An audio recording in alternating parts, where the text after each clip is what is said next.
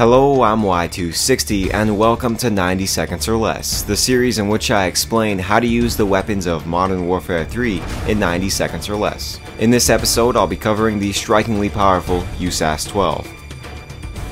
It's a shotgun and it features a favorable mix of power and sustainability. In fact, the USAS 12 is almost as powerful as the pump action shotguns, and because the weapon is fully automatic, it can maintain a competitive rate of fire.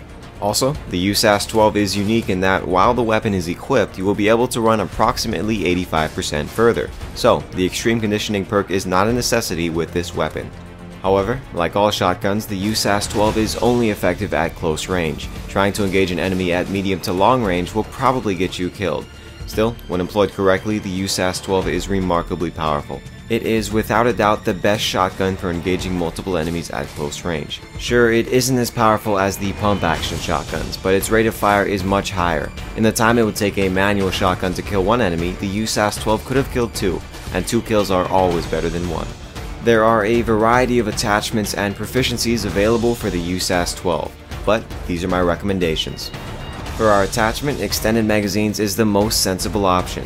The USAS 12 has a relatively slow reload, so increasing your longevity between reloads is a good idea.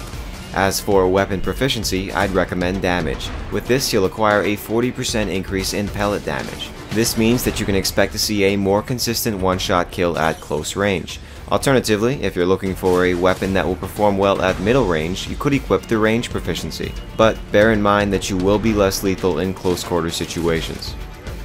Overall, the USAS 12 is a solid shotgun. Although it is not effective at longer ranges, it is relentlessly powerful up close. And with the introduction of close quarter game types such as face-off, the demand for a dependable shotgun has never been higher.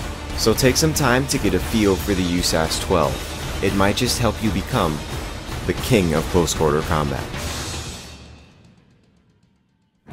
This concludes the ninth episode of 90 Seconds or Less. If you would like to be notified of when I have produced the next episode in this series, you can subscribe. Also, if you'd like to see a particular weapon featured in the future, then leave a comment below. But for now, this is Y260, checking out.